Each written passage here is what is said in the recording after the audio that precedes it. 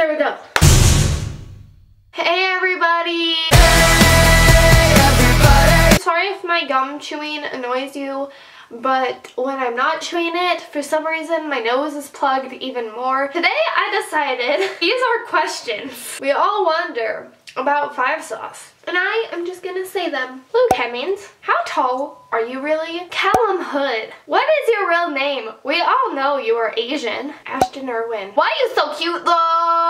Michael Clifford, are you wearing a wig yet?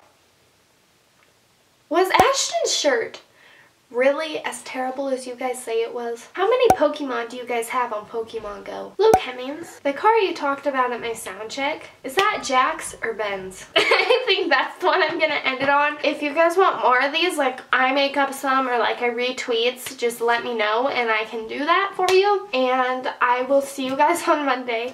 It should be Wednesday now, but when I recorded this, I wasn't having technical problems, but that's why this was not uploaded on Friday. Anyways, I love you guys so much, and I will see you on Monday. Now this works, but I noticed that when I cut them out with an X-Acto knife, they seem to be a lot more crisp and didn't bleed as much as when I cut them out with the razor. So it does still work, it's just not as good.